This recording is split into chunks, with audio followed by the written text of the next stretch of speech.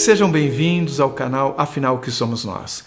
Esse é o segundo vídeo com perguntas e respostas sobre o livro Experiências de Quase Morte, escrito pelo Dr. Edson Amâncio. Dr. Edson, vamos a uma nova pergunta. Está claro no livro que a quase totalidade das pessoas que vivenciam uma EQM passam a admitir que algo continua após a morte. Como que a ciência pode lidar com essa situação, visto que não estamos mais falando de fé, e sim de fatos ocorridos, mesmo que tenham sido testemunhados somente de uma forma subjetiva? Olha, Carlos, a impressão que eu tenho é que essa é a pergunta mais importante desse questionário, dessa entrevista, viu? Porque, na verdade, é, nós, quando estudamos esses casos, você participando, inclusive, de, da maioria deles, é, a gente procurou tirar qualquer viés religioso ou de fé em cima dessa pesquisa.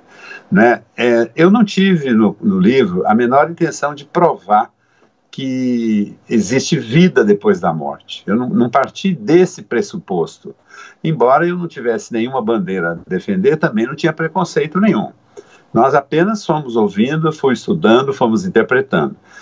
Ainda que a maior parte das pessoas entrevistadas realmente pensem afirmativamente a essa pergunta sua, ou seja, eles passam a acreditar que há alguma coisa além da morte, é, não houve essa, essas entrevistas não foram suficientes para provar isso.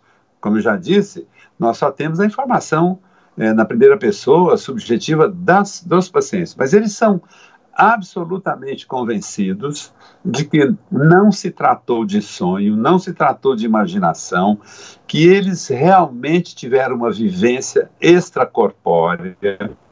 Então, essa vivência extracorpórea implica no fato de que eles presenciaram, muitos deles, o próprio corpo, ou sendo operado num centro cirúrgico, ou anestesiado, ou vítima de um acidente, ou tendo uma parada cardiorrespiratória, um infarto, uma hemorragia, que foram os casos que nós descrevemos.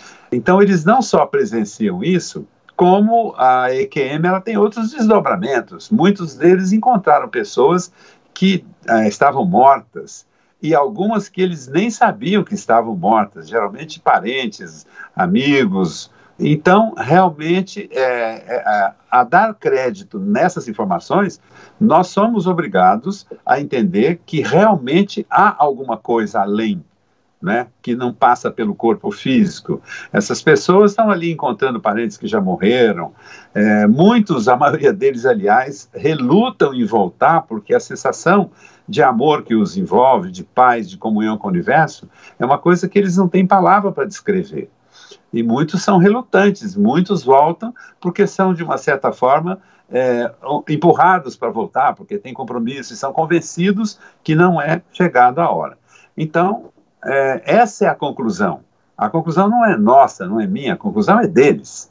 Né? Esse é o relato deles, é a afirmativa que eles fazem que realmente existe alguma coisa depois, que a morte não é esse desespero que nós no Ocidente achamos que é, e que pode ser até uma coisa muito agradável, né? baseado nos relatos deles.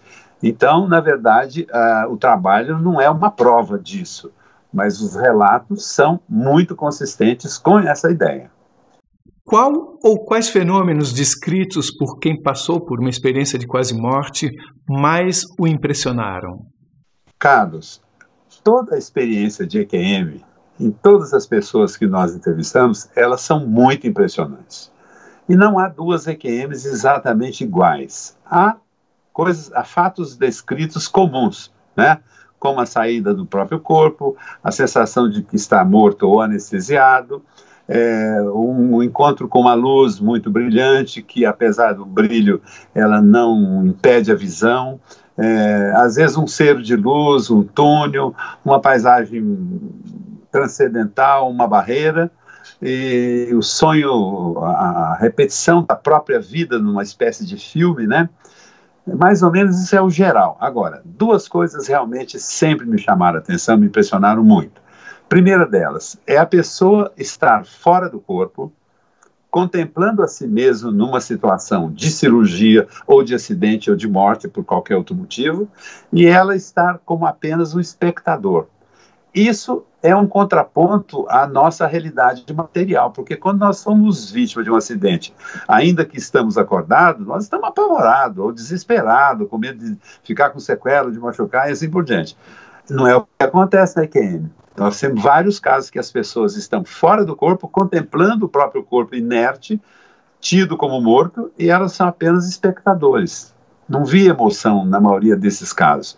Isso realmente me impressionou, porque não condiz com a nossa situação de seres vivos. Quando nós estamos diante um acidente, ainda que seja pequeno, nós estamos apavorados, meio desesperados, sem saber o que recorrer.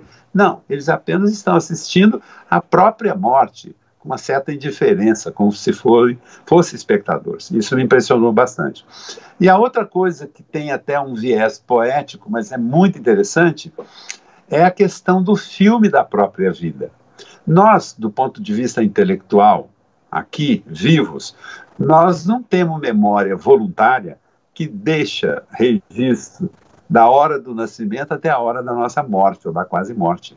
Voluntariamente, ninguém consegue isso. Você pode remontar intelectualmente a sua memória, as suas lembranças, até os seis anos de idade, quem sabe até os cinco, quando aconteceu alguma coisa muito espetacular, você pode lembrar. Mas a partir daí, ninguém lembra nada. E mesmo na vida adulta, você exclui muitos fatos da sua vida. E quando o paciente é, vítima de EQM informa que ele foi levado a uma situação que lhe permitiu ver o filme da própria vida, do minuto em que ele nasceu até a hora da quase morte, é, a questão do tempo aí perdeu completamente o sentido do que nós temos o tempo.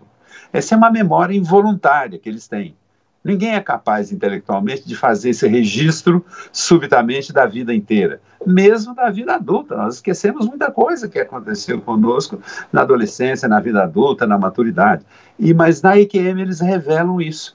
Então a, a coisa do tempo fica me lembrou muito quando eles falam isso nesse romance do Proust, né, em busca do tempo perdido, quando o, o, o personagem molha um biscoito na, na, em Paris numa xícara de chá e ele lembra da vida inteira dele.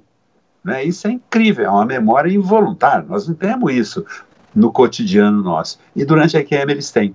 Então, essas duas coisas realmente me impressionaram muito, muito além do que, por exemplo, encontrar um parente morto, uma pessoa que havia morrido, uma avó querida, um irmão, não é? Realmente, essas duas coisas me impressionaram bastante.